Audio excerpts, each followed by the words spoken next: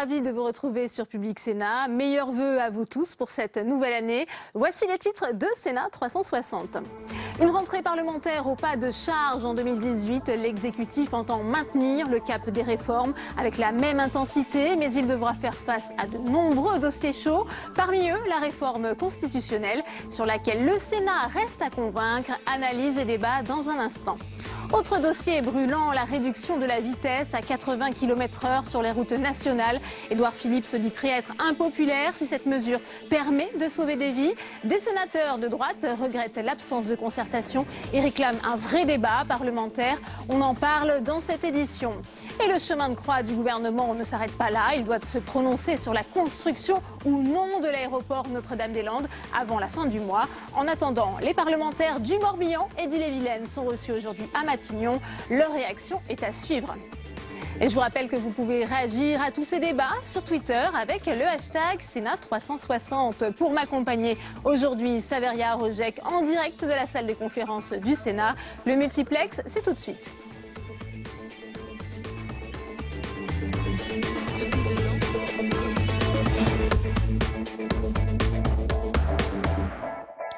Décision devrait être officialisée demain matin, mais elle est déjà prise. Édouard Philippe s'apprête à réduire la vitesse à 80 km/h sur certaines routes secondaires. Cette mesure interviendrait alors que la France connaît une augmentation ininterrompue de la mortalité routière depuis 2014. Pourtant, de nombreux parlementaires s'y opposent. Cécile Sixou. Apprêtez-vous à lever le pied. Fini les 90 km/h, le gouvernement envisage de baisser la vitesse maximale à 80 km/h sur 400 000 km de routes secondaires. Une mesure impopulaire mais assumée par Édouard Philippe. Elle permettrait, selon une expérimentation, de faire baisser la mortalité sur les routes. Peut-être, répond Gérard Larcher, qui demandait hier soir à voir les conclusions de cette étude. Si réellement la limitation de la vitesse, elle est un facteur de moindre mortalité, oui, il faut le faire. alors il faut s'y engager. Mais en même temps, il faut se poser la question. Parce que ceci va s'appliquer dans des territoires qui sont en déficit d'équipement, des territoires souvent ruraux, des territoires qui ont le sentiment d'être abandonnés. Et au lieu de conduire des investissements dans ces territoires, on leur dit, ben, votre mobilité mmh. sera Réponse ce matin d'Edouard Philippe. Dans une lettre, il explique que l'expérience menée de 2015 à 2017 sur 86 km a permis de diminuer la mortalité de 27 à 20 décès sur ce tronçon test. Au total, elle pourrait sauver entre 200 et 400 vies par an, selon le gouvernement. Demain, Édouard Philippe devrait annoncer également d'autres mesures des sécurités routières, notamment contre l'utilisation du téléphone portable ou encore contre l'alcool au volant. Pourquoi limiter la vitesse à 80 km/h sur les routes secondaires? La mesure du gouvernement sera-t-elle efficace? Et le gouvernement a-t-il employé la bonne méthode pour imposer sa proposition? Ce sera le thème de notre débat dans un instant. Je vous le disais en titre, le gouvernement annoncera sa décision avant la fin du mois concernant l'avenir de l'aéroport de Notre-Dame-des-Landes. Après la remise en décembre d'un ultime rapport, Édouard Philippe veut déminer le dossier auprès des élus locaux. Ils sont d'ailleurs reçus aujourd'hui à Matignon. Samia Dechir. Les élus défilent cette semaine à Matignon. Jusque vendredi, c'est l'ultime concertation sur l'aéroport Notre-Dame-des-Landes avant que le gouvernement tranche. La décision sera prise entre le 15 et le 30 janvier. L'exécutif décidera alors soit de la construction de l'aéroport, soit de l'abandon du projet au profit d'un réaménagement de l'aéroport existant de Nantes Atlantique. Édouard Philippe l'a annoncé mi-décembre après la remise du rapport des médiateurs qui n'ont pas tranché, estimant qu'aucune solution n'est parfaite. J'attire l'attention sur le fait que cette décision sera claire, qu'elle sera assumée par euh, le gouvernement et qu'elle doit nous permettre d'une part de répondre aux besoins identifiés du développement du transport euh, aérien dans le Grand Ouest et d'autre part de garantir un retour euh, à la normale, notamment s'agissant euh, des questions relatives à l'ordre public. Ce retour à l'ordre public devrait passer par une évacuation de la ZAD, la zone à défendre, occupée par plus de 200 opposants à l'aéroport. Édouard Philippe s'y est engagé, y compris si le projet est abandonné. 3000 militaires pourraient être mobilisés. Mais les zadistes, eux, n'ont pas l'intention de partir, quelle que soit la décision du gouvernement, ils entendent continuer à vivre sur ces 1000 hectares de bocage et se disent prêts à se défendre. Et on va tout de suite retrouver Saveria Rojek depuis la salle des conférences du Sénat. Joël Labbé fait partie des parlementaires reçus cet après-midi à Matignon et c'est votre invité, Saveria. Bonjour Joël Labbé, merci de répondre à nos questions. Euh, l'épineux dossier, euh, bien sûr, de Notre-Dame-des-Landes. Vous allez être reçu tout à l'heure hein, par euh, le Premier ministre Édouard Philippe à Matignon. Quel message allez-vous lui délivrer? Eh bien, tout d'abord, le, remercier de nous entendre. et ensuite dire que j'ai étudié avec grand intérêt le rapport de la commission de médiation. et là, il y a énormément d'arguments qui vont dans le sens de l'aménagement de Nantes Atlantique, ce qui n'avait pas été travaillé jusque-là. Est-ce que vous avez le sentiment que votre voix est encore écoutée, que la décision n'est pas déjà prise euh, au sein de l'exécutif? J'ose espérer que non. Euh, que si on veut nous entendre, c'est pour entendre la voix de parlementaires, qui sommes représentants et de la population et des territoires. Euh, donc eh je vais mettre en avant les arguments que j'ai, euh, et en particulier euh, les arguments d'urgence planétaire. C'est-à-dire? C'est-à-dire le, le, le, président de la République euh, a tiré la sonnette d'alarme il y a moins d'un mois en disant qu'on était en train de perdre la bataille du climat. Le projet de Notre-Dame-des-Landes est un projet emblématique en ce qui concerne le climat. Et ce serait incohérent par rapport à ce qu'il a dit que de persister dans cette voie. Donc je suis convaincu qu'avec les éléments euh, concrets qui ont été donnés euh, par l'étude des médiateurs, eh bien nous avons des arguments pour dire euh, il y a inutilité d'aller faire Notre-Dame-des-Landes et qu'il y a une véritable solution alternative qui a été travaillée, qui est chiffrée. Alors justement, dans une tribune hein, publiée aujourd'hui, José Bové dit qu'une sortie par le haut est possible. C'est ce que vous allez proposer également, un projet autour de l'agriculture durable et de la biodiversité? Oui, j'ai regardé avec intérêt euh, l'analyse de José Bové, qui se base, qui se base également sur euh, le Larzac. Mmh. Euh, et justement, dans la mesure où Notre-Dame-des-Landes, le projet est abandonné, il y a ces terrains. Et là, il y a, il y a une, quelque chose d'exemplaire qui peut être mis en place, et dans le cadre d'une véritable concertation, et que soit rétabli l'état de droit sur cette zone. Mmh. Est-ce qu'on peut annuler un projet qui a été voté par référendum. Jean-Marc Ayrault euh, estime que passer outre hein, euh, ce référendum serait un déni de démocratie. Alors, à l'époque, je faisais partie de ceux qui avaient, euh, qui avaient contesté le, périmètre de ce référendum. Il aurait dû prendre tous les, territoires impactés, dont la Bretagne, mmh. d'une part. Mais d'autre part, à cette époque, on n'avait pas cette étude qui vient de nous arriver avec des éléments concrets de la faisabilité de l'aménagement de, Nantes Atlantique. Et euh, ce rapport euh, enlève la légitimité à, la consultation, à mon sens. D'accord, très bien. Merci beaucoup. Merci Joël Labbé d'avoir euh, répondu à nos questions. Merci également. Merci à vous, euh, Saveria, pour cette première réaction. Les assises nationales de lutte contre les violences sexuelles ont lieu aujourd'hui et demain au Sénat. Alors qu'un projet de loi est en cours de préparation, quelles sont les attentes des associations? Élément de réponse avec Sandra Cerquera. 30 ans au lieu de 20, l'allongement du délai de prescription pour les crimes sexuels sur mineurs est l'une des mesures phares du projet de loi sur les violences sexuelles. Mais pour bon nombre d'associations et d'élus, cet allongement est insuffisant. Il ne doit pas y avoir de limite à la prescription. Euh, parce que les prédateurs sont dans la nature et ils peuvent être prédateurs très vieux. Donc il faut absolument que quand euh, euh, quelqu'un a été victime mineure et que la mémoire lui revient ou qu'il ose ou qu'elle, ça peut être un homme ou une femme, ose parler, même si c'est tard, il faut qu'il puisse le faire et qu'il puisse être entendu par la justice. Autre mesure qui fait débat, la présomption de non-consentement entre 13 et 15 ans. Le gouvernement n'a pas encore tranché. La fourchette d'âge euh, est impossible. Euh, déjà 15 ans, on est en dessous de la moyenne euh, européenne et mondiale sur l'âge du consentement. 15 ans a été proposé parce que on a déjà implicitement quelque chose qui parle de 15 ans dans notre code pénal, même si c'est pas vraiment écrit de façon très structurée. Mais il est impensable de penser que une personne, un enfant en, en deçà de 15 ans puisse pouvoir donner un consentement Sur le plan judiciaire encore, le gouvernement envisage de mettre en place une infraction de harcèlement de rue qui prendrait le nom d'outrage sexiste. Autre piste, faciliter le dépôt de plainte. Il est question notamment de permettre un recueil de preuves directement à l'hôpital, rédigé par les médecins, sans dépôt de plainte au commissariat. Ce projet de loi sur les violences sexuelles très attendu devrait être discuté au printemps. Et on retrouve à nouveau Saveria Rojek, toujours depuis la salle de conférence du Sénat, avec votre invité Alain Houpert, sénateur Les Républicains de la Côte d'Or.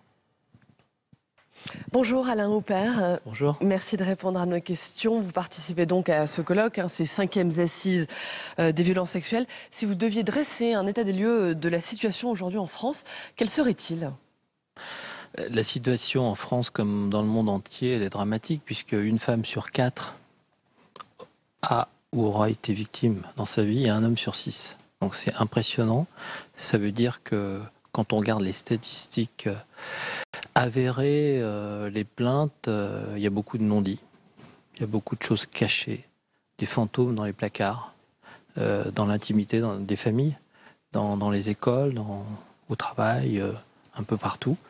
Donc c'est assez émouvant. De, Il n'y a pas eu de témoignage, mais un bilan un état des lieux de ce qui se passe. Hmm. Impressionnant. En novembre dernier, Emmanuel Macron a annoncé un grand plan hein, euh, contre les euh, violences faites aux femmes. Est-ce que selon vous, ce plan est suffisamment ambitieux? Les mesures prévues non. Euh, sont suffisamment ambitieuses? Je parlerai en tant que sénateur et en tant que médecin. En tant que sénateur, j'ai fait une proposition de loi pour l'imprescriptibilité.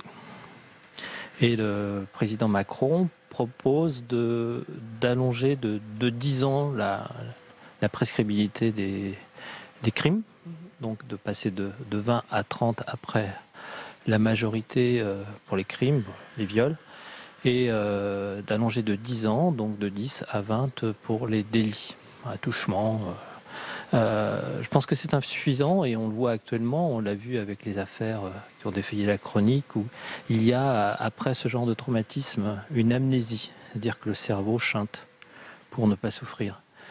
Et en tant que médecin radiologue, je vois dans, mes patients que mon métier, c'est de dépister des cancers du sein.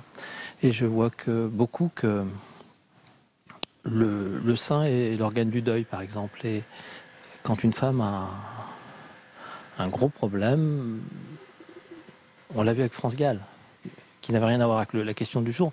Mais France Gall a développé son cancer du sein en 1996, un an après le décès de son cher mari. Et la violence sexuelle est un, drame et qui, qui, débloque beaucoup, beaucoup de choses, beaucoup qui somatise. On a parlé beaucoup de somatisation et il y avait des intervenants québécois qui ont fait un état des lieux où ce pays est beaucoup plus en avance les associations en France euh, dénoncent un manque de moyens. Euh, le chef de l'État Emmanuel Macron avait, annoncé donc en novembre dernier 420 millions d'euros euh, pour mettre en œuvre ce plan. Où en est-on?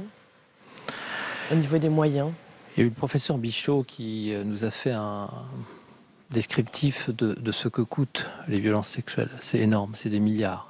C'est des milliards dépensés dans la maladie, dans les arrêts de travail, euh, dans, les suicides. Donc des, milliards qui auraient pu être économisés si on, on avait une prévention, si on refaisait une éducation, euh, euh, apprendre à être un père, apprendre à être une mère, comment protéger son enfant du harcèlement, hein, qui est un, gros problème dans, les lycées, dans les collèges et, et au travail. Est-ce qu'il faut également, selon vous, renforcer l'arsenal judiciaire? Bien sûr. Et c'est pour ça que j'ai proposé cette loi sur l'imprescriptibilité. Ce que propose le président Macron, c'est ce que avait proposé Dini, la loi qui avait été votée ici en 2011 au Sénat et qui avait été rejetée par l'Assemblée nationale. Donc ce qui était faux euh, en 2011 devient vrai euh, en 2018.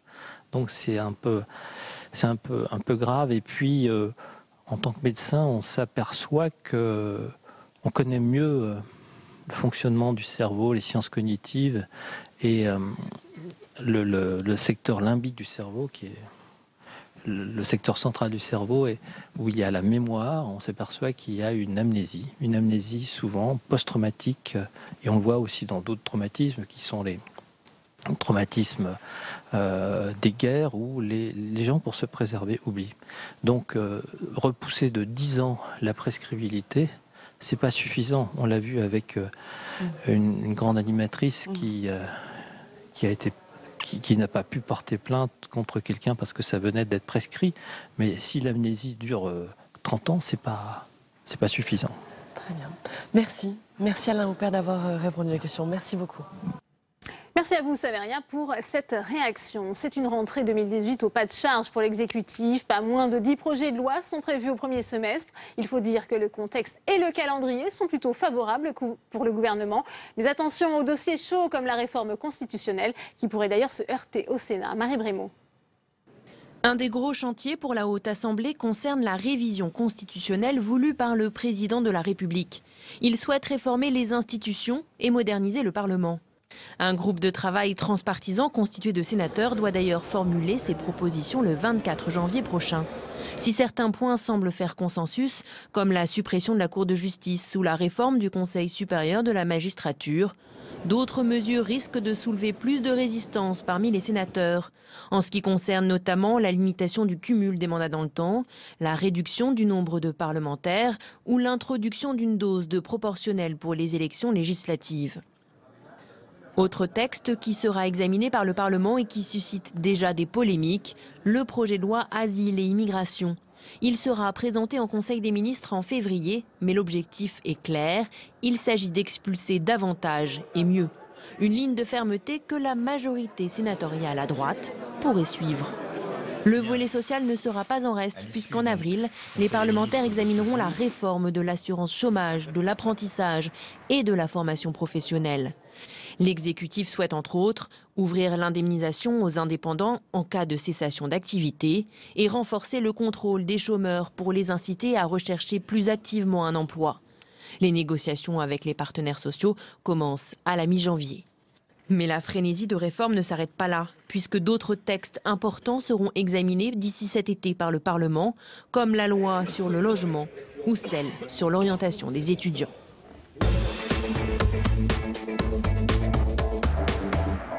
Et pour analyser les enjeux de cette rentrée parlementaire, quatre invités sur ce plateau aujourd'hui. J'ai le plaisir d'accueillir Olivier Roucan. Bonjour. Merci d'être avec nous. Vous êtes politologue, chercheur associé au CERSA. C'est le Centre d'études et de recherche de sciences administratives et politiques. Également avec nous Emmanuel Rivière. Bonjour. Directeur général de l'Institut de sondage Cantar Public France. Nicolas Prissette est également avec nous sur ce plateau. Bonjour. Vous êtes journaliste, auteur de Emmanuel Macron, le président inattendu aux éditions First. Et j'accueille enfin Nicolas Tenzer. Bonjour. Vous êtes le président du Centre d'études et de réflexion pour l'action politique. Vous êtes également chargé d'enseignement à Sciences Po Paris, par ailleurs directeur de la revue Le Banquier. On va bien sûr parler de cet agenda chargé, mais avant cela, je vous propose d'écouter le Premier ministre Édouard Philippe, puisque pour lui, eh bien, il faut maintenir le cap des réformes. C'est ce que lui a dit euh, Emmanuel Macron. Le président de la République nous a demandé non seulement de garder le même niveau d'ambition, de mobilisation, et d'innovation, mais aussi de garder le rythme des réformes au cours du semestre à venir. Euh, nous avons encore beaucoup de pain sur la planche, nous avons encore beaucoup de réformes et de transformations à concevoir, à mettre en œuvre, à expliquer, euh, et nous devons, en toute chose, euh, atteindre l'objectif qui a été fixé par le président de la République, c'est-à-dire le respect des engagements pris par lui au moment de la campagne et portés par le gouvernement et par la majorité parlementaire auprès des Français. Olivier Raucan, est-ce que le gouvernement peut maintenir ce rythme effréné, cette frénésie de réforme il en a la, possibilité euh, parlementaire, semble-t-il, dans tous les cas à l'Assemblée nationale, euh, du fait de l'ampleur de sa majorité. Et pour l'instant, la République en marche euh, apparaît suffisamment homogène pour ne pas connaître les troubles qu'on a pu euh, voir émerger lors du quinquennat précédent et même euh, déjà auparavant. Donc ça, c'est un, un atout. Manifestement, la, gouvernance de l'exécutif est très centralisée à l'Élysée. Ça se passe plutôt bien entre l'Élysée et Matignon. Donc là aussi, sur le plan de la préparation des textes et du calendrier, les, conditions semblent réunies. Alors ensuite, il y a les partenaires sociaux les collectivités territoriales et l'opinion publique, et c'est à ces niveaux qu'il pourrait y avoir des difficultés. Les collectivités territoriales, certaines indiquent bien qu'elles sont, euh, par exemple sur la réforme de la formation ou de l'apprentissage, inquiètes. Je pense là aux régions. Sur la cohésion nationale, hein, Emmanuel Macron a évoqué euh, l'enjeu pour lui très fort en 2018 du social et de la cohésion nationale. Là, les départements pourraient se faire entendre. Et puis l'opinion publique, Emmanuel Rivière nous en dira sans doute plus, mais il y a quand même dans l'apparente remontée de la popularité d'Emmanuel Macron des signes que sur le fond, la pédagogie des projets et le sens de ce que veut faire cette équipe n'est pas forcément perçu ce qui veut dire que ce socle de remontée popularité est peut-être plus fragile qu'on ne le dit. On va y venir. Il faudra effectivement convaincre les parlementaires, mais aussi euh, les Français. Nicolas Tenzers, vous, vous diriez également que le contexte politique est favorable pour l'exécutif pour mener ah ben, ces réformes? Je pense que le contexte est de manière extrêmement favorable aujourd'hui. Euh, il ne peut pas l'être plus, je pense. Euh, en plus, il y a une obligation pour le président de la République d'aller vite. Tout simplement parce que, encore une fois, les réformes se, se, font essentiellement, peuvent bien se faire uniquement dans le début d'un quinquennat. Donc là, en gros, ça fera un an et demi à la fin de l'année 2018. Je pense que c'est maintenant qu'il faut faire l'essentiel. Ensuite, on va entrer dans un jeu électoral euh, avec les élections européennes, avec ensuite les élections municipales, et ça va être probablement beaucoup plus difficile. Maintenant, je ne partage pas nécessairement toutes les craintes euh, exprimées. Je pense que effectivement, on a une fronde d'un certain nombre d'élus qui s'est déjà manifesté, mais je pense que dans l'opinion publique, ça ne compte pas énormément. Quant aux syndicats, on a vu lors des réformes comme très sensibles, notamment sur le droit du travail, qu'ils étaient quand même assez faiblement soutenus dans l'opinion. Il n'y a pas eu de grandes manifestations, pas eu de grandes protestations. Maintenant, ce qui est très important, c'est d'avoir aussi euh, le sentiment, ou de donner le sentiment que les réformes sont justes, qu'elles amènent des résultats, et il faudra bien, c'est probablement trop tôt, que, euh, en tout cas à la fin de l'année 2018 et de début 2019, il y ait des résultats très concrets sur le niveau de vie des Français, sur le chômage. La conjoncture internationale et européenne est plutôt favorable sur le plan économique, et ça aussi, c'est un autre facteur. Nicolas Prissette, il n'y a pas d'opposition euh, politique pour l'instant. La voie est libre pour le gouvernement pour mener à bien cette réforme? Il n'y a, pas vraiment d'opposition politique qui soit capable euh, d'empêcher Emmanuel Macron de mener à bien ces réformes. Alors peut-être au Sénat, où euh, Gérard Lachet a, mis euh, des lignes rouges à ne pas franchir dans la réforme constitutionnelle, et on pense en particulier au non-cumul des mandats dans, le temps, qui est un, sujet précis. Mais pour le reste, ce qu'a dit Édouard Philippe, il a parlé dans l'extrait qu'on vient d'entendre des réformes qui sont inscrites dans le programme d'Emmanuel Macron. Et à ce stade, le gouvernement a mis en œuvre une partie de ces réformes l'année dernière et va continuer, puisque dans son programme, dans son agenda, il y a notamment l'assurance chômage, la formation professionnelle, etc., qui étaient annoncées par Emmanuel Macron. Euh, mais il y a aussi d'autres réformes, des éléments qui n'étaient pas annoncés, qui n'étaient pas prévus, et qui, ceux-là, sont davantage susceptibles de se heurter à des oppositions, tout simplement parce qu'on était jusqu'ici dans le moment post-électoral ou dans la foulée de l'élection, de la légitimité de l'élection, c'était plutôt facile de faire passer des réformes. Et là, à partir du moment où vous ouvrez des chantiers, comme par exemple, on, pourrait en parler, euh, celui de la vitesse sur la route à 80 km/h, où vous ouvrez des chantiers qui n'étaient pas euh, attendus par l'opinion, qui n'étaient pas annoncés, préannoncés pendant la campagne électorale, eh bien, euh, forcément, vous ouvrez la voie, à, sans un mauvais jeu de mots, à des divisions potentielles entre ceux qui vont soutenir le gouvernement spontanément puis les autres qui vont dire mais on nous en avait jamais parlé de ces réformes-là auparavant et avec euh, donc un débat et des débats avec des déçus et des vainqueurs. Donc c'est un moment politique différent qui s'ouvre maintenant en ce début d'année. Il y a eu les réformes promises qui sont en voie euh, d'accomplissement et puis il y a les réformes nouvelles, la gestion politique quotidienne. Euh, qui est le cœur de l'action politique d'un quinquennat et qui va être forcément plus compliqué, plus difficile. Il va falloir négocier et le, le gouvernement donc devra trancher et faire des déçus comment ces réformes, ce rythme que l'exécutif veut imposer, à la fois aux parlementaires mais aussi aux Français, comment c'est perçu, ça, Emmanuel Rivière, pour, euh, par les Français? Pour comprendre comment c'est perçu, il faut se rappeler qu'on sort d'un moment électoral où euh, la totalité des, des, candidats, sans exception, expliquaient qu'il s'était rien passé d'intéressant en France et qu'on n'avait rien fait de courageux pendant des décennies. Et les Français les ont pris au mot d'ailleurs. Ils ont donné un grand coup de balai et ils ont choisi des candidats pour que ça change. Alors, ils n'ont pas tous choisi Emmanuel Macron, mais contrairement à ce que Emmanuel Macron d'ailleurs lui-même a laissé entendre, les Français ne sont pas allergiques aux réformes. S'ils ont changé à ce point leur cadre politique, c'est parce qu'ils voulaient que des choses changent. Et certes, ils ne sont pas en phase euh, majoritairement avec tout ce que propose Emmanuel Macron, mais le fait déjà de vouloir changer les choses et de le faire conformément à ce qui a été annoncé dans un programme. Donc, euh, c'est pour ça ce que disait Nicolas est intéressant. Déjà, l'exécutif coche deux cases dont, en revisitant le passé, les Français pensent qu'elles n'étaient pas cochées auparavant. Et pour cela, je pense qu'il y a effectivement un sentiment favorable qui explique la remontée en popularité. Reste à savoir comment les Français réagiront quand on rentrera dans le dur euh, des réformes. Mais globalement, l'inertie serait bien plus dangereuse pour Emmanuel Macron que euh, l'accélération. Oui, je pense qu'en fait, le, problème qu'Emmanuel Macron pourra rencontrer, ce sera moins sur les grandes réformes sociales, euh, sur l'assurance chômage, l'apprentissage, la formation professionnelle, que sur des réformes qui touchent au principe même de la République. Je pense en particulier à tout ce qui concerne l'immigration, les réfugiés, où là, effectivement, il y a un clivage qui est quand même un clivage dur. Et on le voit, on l'a quand même un peu vu. Au sein même de la majorité de LREM, il y a des gens qui sont plutôt de sensibilité plutôt centre-gauche, d'autres plutôt centre-droit. Et on a vu des gens plutôt centre-gauche qui ont commencé un peu à réagir. Et je pense que ce sont sur ces sujets-là, beaucoup plus que aussi sur la réforme constitutionnelle, où quand même il y avait un engagement fort. Et je pense que, certes, il va y avoir probablement les oppositions du Sénat, mais sur la réduction euh, euh, du nombre de parlementaires, euh, sur la limitation dans le temps des mandats, je pense que l'opinion attend cela, précisément. D'ailleurs, c'est aussi pour ça qu'elle a donné un grand coup de balai. Donc ça, je crois que c'est beaucoup plus délicat. Enfin, il y a peut-être un autre aspect qui est quand même le contexte international. Emmanuel Macron s'est également fortement engagé sur la scène internationale, est en Chine aujourd'hui, mais aussi est-ce qu'il va pouvoir aussi sur un certain nombre de choses, par exemple la réforme des institutions européennes, euh, sur également tout ce qu'il a promis de dire, euh, de faire aussi au Moyen-Orient, sur la question du, conflit euh, Russie-Ukraine, est-ce qu'il va pouvoir là aussi avancer? Et je pense que ça participe aussi de cette image globale. Olivier Roucan, est-ce qu'il sous-estime le rôle de l'opposition, Emmanuel Macron? Il faut se méfier de Laurent Wauquiez, ce que dit son entourage, malgré tout. Non, je ne pense pas qu'il sous-estime. D'ailleurs, euh, il a lui-même expliqué sa volonté d'entendre ou d'écouter euh, les oppositions, euh, même si il affirme sa volonté de décider. Mais je ne pense pas qu'il sous-estime. Mais il est vrai qu'institutionnellement, il a une marge de manœuvre inédite. Et, il compte bien l'utiliser.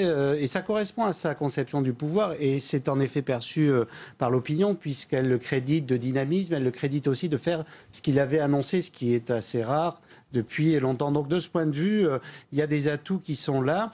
Alors il y a quand même un point euh, qui importe, c'est Notre-Dame-des-Landes parce que euh, son image, qui est pour l'instant relativement bonne, pourrait s'abîmer si l'autorité devenait autoritarisme et qu'il y avait là un clivage générationnel hein, euh, qui pourrait s'installer. Euh, je veux dire, pas générationnel au sens où le président est jeune, mais avec un certain nombre de jeunes. Et puis le deuxième point qui me semble intéressant, c'est ce que vous avez dit sur le droit d'asile et le texte qui va être examiné, parce qu'en effet, il y a un risque identifié identifié là aussi de fragmentation de la République en marche sur cette question. Euh, plus globalement, la, la, question de la cohésion nationale, c'est d'abord cette, euh, cet enjeu fort aujourd'hui euh, mmh. de des politiques de d'expulsion euh, ou des politiques d'intégration. Donc reposer et redéfinir cette, cette Alors justement, puisqu'on va y venir, ça fait partie des dossiers chauds hein, qui attendent le chef de l'État, à la fois le projet de loi asile-immigration, mais aussi la réforme constitutionnelle. Nicolas Tenzer, quelle il faudra malgré tout compter avec le Sénat Je vous propose d'écouter Gérard Larcher. Il était eh bien, l'invité de nos confrères de RTL. J'ai plusieurs lignes rouges ou très fortement clignotantes. Tout d'abord, sur quel territoire est élu un député ou un sénateur. Et vous voyez bien ma méfiance vis-à-vis de la proportionnelle, voire d'une proportionnelle intégrale. Ça, c'est Ma première ligne rouge, c'est que le département ou la collectivité unique est le lieu de référence de l'élection. Le second des sujets, c'est que je suis très attentif parce que je n'oublie pas le premier tour de l'élection présidentielle, à une France fracturée en quatre. Ça, c'est la question du redécoupage lié à la diminution du nombre de sénateurs. de l'ajustement du nombre et de la territorialisation des députés et des sénateurs. Et puis, sur le cumul dans le temps. Oui, ça c'est... Euh, c'est un immense sujet. Immense. Vous savez que les Français... Vous savez que ça concerne 12 sénateurs sur 348 aujourd'hui. Ça ne vous concerne pas d'ailleurs, même si vous êtes sénateur pendant 27 ans. ça ne me concerne pas parce que j'étais ministre entre Exactement, entre temps. Vous voyez que si on veut faire gadget, on se précipite là-dessus. Et si on pense que c'est pour nourrir les populistes, alors ça ne suffira jamais. Nicolas Prissette, la révision constitutionnelle, on vient d'entendre Gérard Larcher, ça pourrait être le premier caillou dans la chaussure du gouvernement? Alors, on voit bien que là, il y a une négociation qui a lieu entre le président de la République et, le président du Sénat, et on peut imaginer que cette négociation va déboucher sur quelque chose. Il y aura un point d'aboutissement. Ils vont pas en rester là à se regarder en, chien de faïence, et puis euh, Emmanuel Macron disant bah tant pis, Gérard Larcher n'est pas d'accord avec moi, je renonce. C'est pas ça qui va se passer. Euh, il y aura euh, un point d'aboutissement sur le nombre de sénateurs. nécessairement. Et puis sur le, le non-cumul des mandats, bon, on ne voit pas encore c'est le point d'atterrissage, mais il y en aura un aussi. Donc cette réforme constitutionnelle, les deux sont forcément dans leur posture de négociateur. elle va aboutir peut-être ce mois-ci même, puisque Gérard Larcher va rendre ses conclusions. Et puis après, il y a le processus d'adoption qui, qui sera enclenché par, par le président de la République. Donc on peut, on peut imaginer qu'il y aura un moment d'apaisement une fois passé ces, ces, sur euh, le cumul des mandats ou le nombre de sénateurs. Emmanuel Rivière, euh, là aussi, elle est demandée par les Français, euh, cette révision constitutionnelle, cette réforme des institutions je ne crois pas qu'elle est demandée par les Français qui ont d'autres priorités, qui concernent plus les autres chantiers qu'on a évoqués. Mais effectivement, quand on dit aux Français, on propose de réduire la durée des mandats et de euh, limiter le nombre d'élus, ils reçoivent ça, effectivement, et le boivent comme du, petit lait. Et les argumentations euh, que Gérard Larcher a développées dans votre sujet sont évidemment recevables à tout un tas d'égards je crois qu'elles sont totalement inaudibles par l'opinion publique. Et là, d'ailleurs, je, passage, je recommande de ne plus utiliser la phrase je ne suis pas concerné parce qu'entre-temps j'ai été ministre, parce que c'est, ça correspond à la caricature de ce que les Français considèrent comme étant les carrières politiques qui n'en finissent pas, où en fait les postes se succèdent les uns aux autres avec un sentiment d'accaparement. Donc ce sera compliqué euh, d'échapper à une espèce d'instrumentalisation d'une opinion publique qui sera très favorable par rapport à ça pour ceux qui veulent s'opposer à cette réforme. Je crois qu'il y a vraiment cette demande d'une République rénovée, allégée, plus efficace, et que ça doit passer par un sacrifice de la part des, chambres parlementaires. Olivier Roucan, vous partagez l'optimisme de Nicolas Prissette. Il y aura un arrangement, un terrain d'entente avec le Sénat sur cette révision constitutionnelle Oui, euh, notamment parce que euh, toute voix divergente sur la conception de la réforme est relativement inaudible. Et c'est un peu la même chose sur les politiques migratoires ou le droit d'asile dont nous parlions, c'est-à-dire que la simplification du message et le contexte c'est-à-dire l'opinion telle qu'elle est configurée depuis assez longtemps sur ces questions ne permet pas trop de marge de manœuvre. Lorsque vous dites diminuer le nombre d'élus, tout de suite c'est interprété sur le mode ah on va avoir une république euh, plus transparente, moins coûteuse aussi. Mais là aussi on a entendu quand même Gérard Larcher très ferme. Hein. il faudra 240 sénateurs avec comme circonscription le département. Il y a quand même des revendications euh, de la part de la Chambre haute. Oui, il y a des revendications. Alors, il y a des marges de négociation, mais si vous voulez, euh, Gérard Larcher n'imagine même pas de dire non, il faut qu'on reste euh, au nombre de sénateurs euh, actuels. Donc, ça, il a abandonné. Donc, ça montre bien que la défense d'une autre conception de la réforme, pas de la stabilité ou de l'immobilisme, mais d'une autre conception de la réforme, est impossible à, transmettre, ce qui fait réfléchir à l'état du débat public. Disons qu'il y a deux types de réformes. Il y a des réformes qui sont susceptibles de cliver l'opinion publique, c'est-à-dire l'ensemble des Français, et puis il y a des réformes qui sont susceptibles de cliver, je dirais, les gens qui sont en place hein, au sein de l'Assemblée, du Sénat et d'un petit nombre de personnes, quelques élus qui sont concernés. C'est pas du tout le même type de clivage. Maintenant, le vrai danger pour Emmanuel Macron, sur le deuxième, sur le premier, je pense que c'est beaucoup plus difficile, c'est beaucoup plus compliqué, beaucoup plus sensible. Hein. il y a des choses très profondes derrière. Mais sur le deuxième, en même temps, il ne peut pas trop reculer il ne peut pas trop reculer parce que s'il donne l'impression de céder, euh, je dirais, sur un certain nombre de compromis, et je suis aussi certain qu'il y en aura, euh, c'est quand même tout son message de transparence, de rénovation de la démocratie qui risque d'en prendre un coup, même s'il n'en sera pas finalement responsable. Il ne peut pas trop traîner non plus, pardon. on se rappelle euh, le grand soutien de l'opinion publique italienne à Matteo Renzi dans un projet de réforme du Sénat qui semblait devoir passer comme une lettre à la poste et qui lui a valu de quitter la direction du gouvernement sur un référendum perdu. Nicolas Prissette Mais ça fait aussi partie des, dangers qui peuvent guetter euh, Emmanuel Macron et Edouard Philippe cette année, ce serait de renoncer ou de reculer euh, sur des réformes qui ont été annoncées. Alors typiquement, on vient de parler de, la réforme constitutionnelle, mais il y en a d'autres qui sont dans les tuyaux et pour lesquels on n'a pas encore le point d'aboutissement et, les, indications qu'on a donnent le sentiment qu'il pourrait y avoir des, reculs. Je pense par exemple euh, au remboursement à 100% des prothèses auditives et des lunettes ou bien au service militaire d'un mois qui avait été annoncé pendant la campagne d'Emmanuel Macron. Mais là-dessus, on a des indications qui ne sont pas forcément conformes à ce qu'on a entendu pendant la campagne électorale. Donc ça, pendant que, enfin, mm. tant que l'opinion crédite Emmanuel Macron de mettre en œuvre son programme, de faire ce qu'il a dit, euh, ça lui rapporte des points dans l'opinion. Mais s'il venait à reculer sur certains éléments programmatiques, c'est les promesses qui avaient été faites, euh, à ce moment-là, il se mettrait davantage en danger. Sur la réforme constitutionnelle, je ne pense pas que ça soit quelque chose de, qui soit extrêmement pénalisant, euh, mais sur d'autres sujets qui concernent beaucoup plus les Français, comme la santé, le remboursement euh, des, frais de santé, à ce moment-là, eh bien, euh, ça serait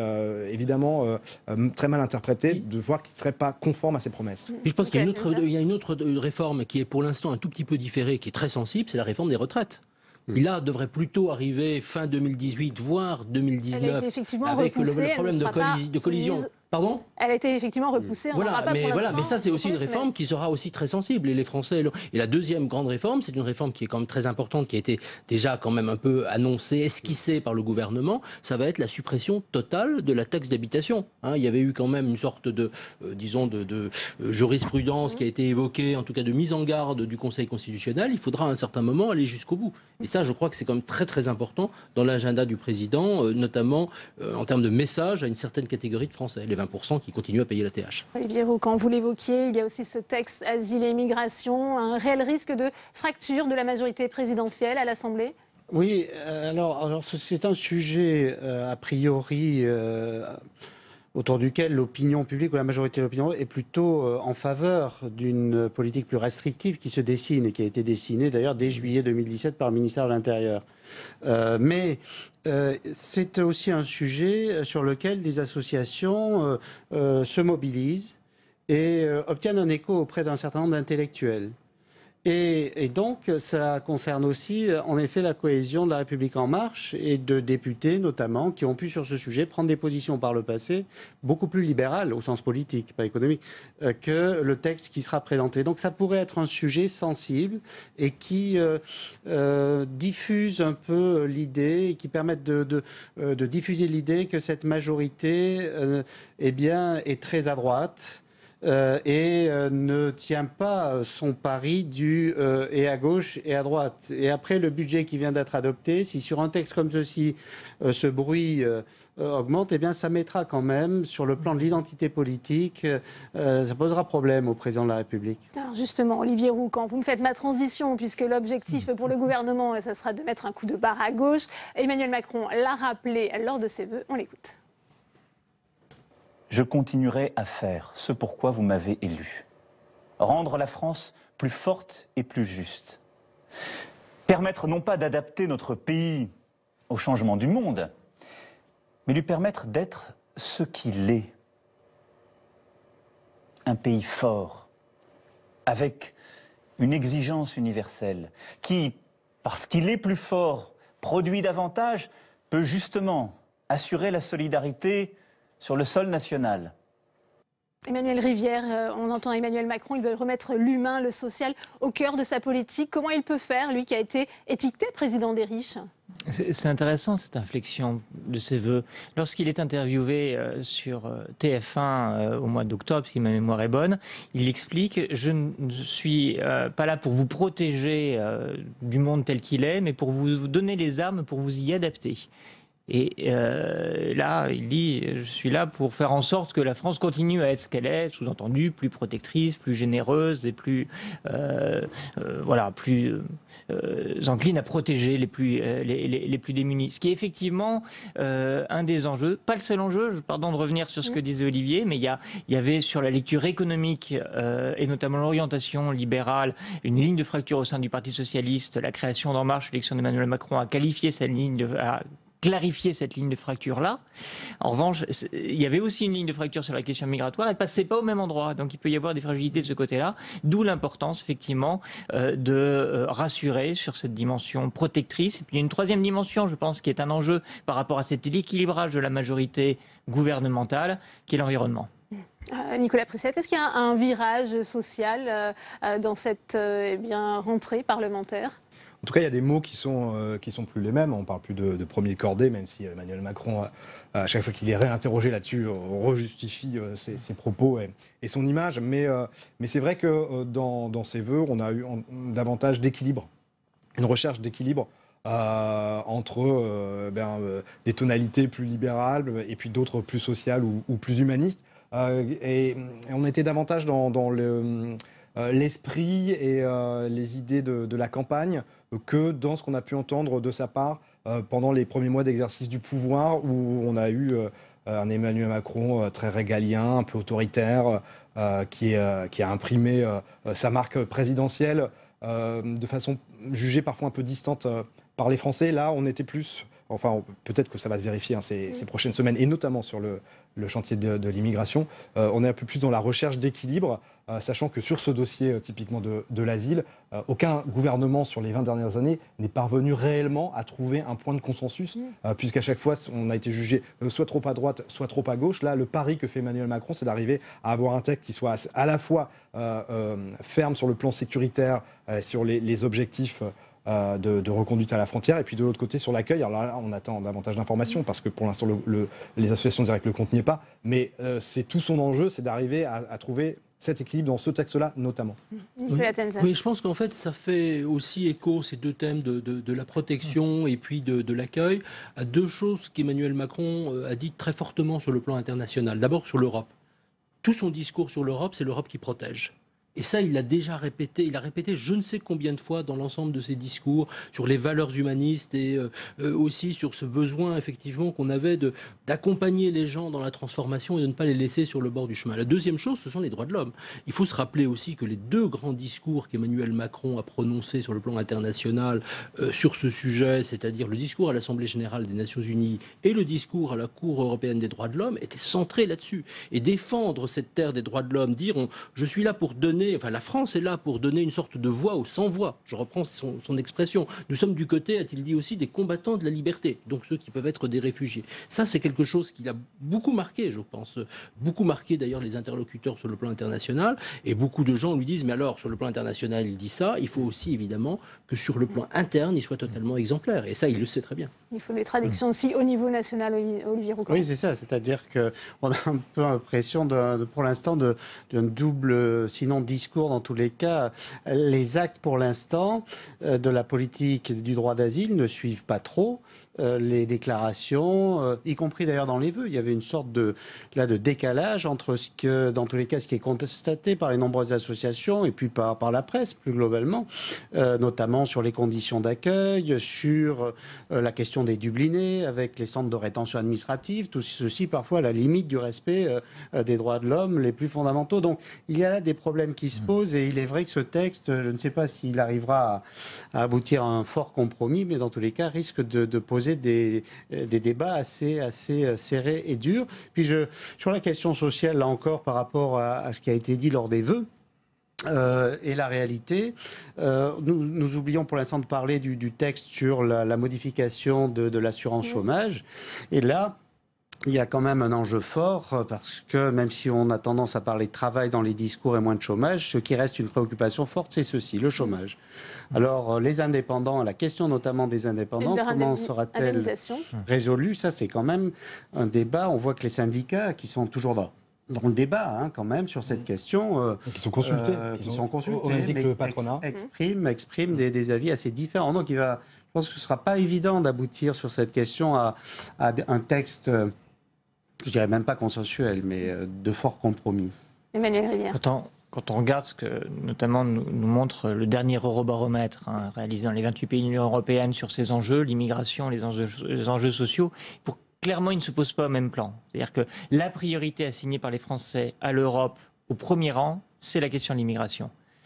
Au niveau de la France, la priorité, c'est le chômage et l'immigration vient plus loin derrière. Donc il y a un, défi, exactement ce, que, ce que vous disiez, pour Emmanuel Macron, d'arriver à coordonner, à montrer qu'il est au cœur de la coordination d'une prise en charge au niveau européen, parce que je crois que beaucoup de Français ne croient plus guère que ce soit au niveau de l'Hexagone qu'on puisse résoudre la question migratoire. En revanche, sur les enjeux sociaux, c'est bien sa responsabilité, au niveau du pays dont il est le président, de faire évoluer les choses et notamment sur le chômage. Ouais. Nicolas Prissette, ce sera le, le, mot de la fin avec vous, justement sur cet acte 2 des réformes sociales, sur la question de l'assurance chômage. On parlait de la réforme constitutionnelle qui pourrait être le premier caillou. Là, le gouvernement peut se heurter à l'hostilité, notamment des partenaires sociaux Alors, ça sera difficile pour les partenaires sociaux, notamment pour les syndicats contestataires, dont la CGT, de, de mettre beaucoup de monde dans la rue et de s'opposer, de faire échec. Euh, à ces réformes-là, d'autant qu'elles ont été annoncées pendant la campagne donc on, restera euh, dans cette dynamique, celle des ordonnances. Euh, pour Emmanuel Macron, ça sera, je pense pas, une difficulté de faire passer ces réformes. La difficulté, elle, elle viendra pas des syndicats, elle viendra surtout euh, des moyens. Quels moyens consacrer à l'indemnisation euh, des démissionnaires, par exemple? Ça coûte une fortune. Est-ce que Emmanuel Macron peut tenir sa promesse, aller jusqu'au bout euh, de cette indemnisation-là? On sait que l'assurance chômage, c'est un déficit de 4 milliards d'euros par an, donc il n'y a pas les moyens, clairement, euh, de mettre en œuvre une, telle promesse. Où va-t-il trouver l'argent? Ça, c'est un défi qui est euh, sans doute plus compliqué euh, que de se heurter aux syndicats euh, qui, euh, je pense, n'ont pas les moyens de s'y opposer. Eh bien, merci à vous, Nicolas Prissette. Merci Emmanuel Rivière. Merci Olivier Roucan. Merci Nicolas Tenzer. On va continuer les réactions euh, politiques justement à cette rentrée parlementaire avec vous. Saveria Rojek, vous allez interroger eh bien, le sénateur socialiste de Paris, Rémi Ferraud. Absolument. Bonjour Rémi Ferrand. Bonjour. Euh, Merci de répondre à nos questions. On en parle, hein, cette rentrée au pas de charge hein, pour euh, l'exécutif. Quels vont être selon vous euh, eh bien, les dossiers compliqués euh, à gérer? L'immigration, le logement, l'emploi et l'apprentissage? Oui, il y a tous ces dossiers parce que l'exécutif et le président de la République ont voulu une rentrée extrêmement chargée. Peut-être trop d'ailleurs, nous le verrons, mais demande un rythme de travail aussi pour le Parlement comme pour le gouvernement extrêmement intense. Il y a des dossiers très importants et très problématiques hein, sur euh, les ordonnances euh, au travail, la réforme de euh, l'apprentissage, de, de chômage, formation professionnelle. Il y a euh, l'asile et l'immigration. Il y a le logement, qui est un dossier euh, sur lequel le gouvernement s'est vraiment pris les pieds euh, dans le tapis euh, cet automne. Il y a aussi des sujets qui sont euh, euh, importants, comme ceux euh, de la métropole euh, du Grand Paris, sur lequel le président de la République doit faire des annonces à la fin du mois de janvier. Donc euh, voilà, et il y en a encore euh, beaucoup d'autres. hein. Je pense à la loi olympique, notamment, qui est importante pour Paris et qui viendra euh, au Sénat euh, là dans quelques semaines. Alors, euh, bien sûr, parmi les réformes compliquées, on en a parlé, hein, la révision constitutionnelle. Euh, quelle va être la position de votre groupe euh, sur cette question? Le groupe socialiste est ouvert sur cette révision constitutionnelle. Je pense notamment euh, la suppression de la Cour de justice de la République, l'indépendance du parquet et aussi la diminution du nombre de parlementaires et la limitation du cumul dans le temps. Mais il faut faire attention, si cette euh, réforme, notamment sur son volet parlementaire, a pour but de rendre euh, la Ve République encore plus présidentielle et de marginaliser le Parlement, là, nous ne serons, pas d'accord. Et pour ma part, je serai attentif à ça. Est-ce qu'il s'agit de revaloriser le rôle du Parlement, d'améliorer son travail, ou simplement euh, de céder à la facilité populiste? Et je suis assez euh, circonspect sur les intentions du président et du gouvernement sur ce point. Hmm. Hier, Gérard Larcher euh, a parlé de ligne rouge. hein. Euh, il a dénoncé notamment un gadget, hein, cette limitation des mandats dans le temps. Il a dit sa méfiance vis-à-vis de la proportionnelle. Est-ce que vous êtes d'accord avec ces deux lignes rouges? Sur une part de proportionnelle aux élections législatives, euh, je suis d'accord avec cette proposition parce que nous la portions nous-mêmes avec François Hollande en 2012 et nous ne l'avons pas mise en œuvre. Euh, la ligne rouge, elle est pour la droite sénatoriale, elle n'est pas euh, pour les socialistes. Donc euh, c'est eux qui mettent une ligne rouge. Ceci dit, ils sont majoritaires au Sénat, donc ça compte. Et puis, euh, il faut aussi quand même choisir son discours. Soit c'est une ligne rouge, soit c'est un gadget. Mm. Je pense que la limitation du nombre de euh, mandats euh, parlementaires dans le temps ne relève pas d'une ligne rouge. En revanche, c'est un gadget. Et si c'est un gadget pour céder à une facilité anti-parlementaire, alors je pense qu'il ne faut pas être d'accord. De façon plus générale, Rémi Ferro, comment vous appréhendez le rôle du Sénat hein, dans l'année qui s'ouvre Gérard Larcher parlait d'opposition constructive, ça va être le cas? Ça, il y a une majorité euh, au Sénat à laquelle je n'appartiens pas. Euh, D'ailleurs, nous, nous sommes euh, à la fois, nous ne sommes pas dans la majorité euh, sénatoriale et nous ne sommes pas dans la majorité euh, présidentielle. Ceci dit, euh, les sénateurs euh, de gauche euh, peuvent euh, jouer un rôle, euh, apporter leur contribution. Et le Sénat, dans son ensemble, euh, a montré, je pense notamment sur le sujet du logement, euh, qu'il pouvait euh, apporter beaucoup, sur les collectivités locales aussi, bien sûr. Donc, euh, charge au gouvernement de l'écouter.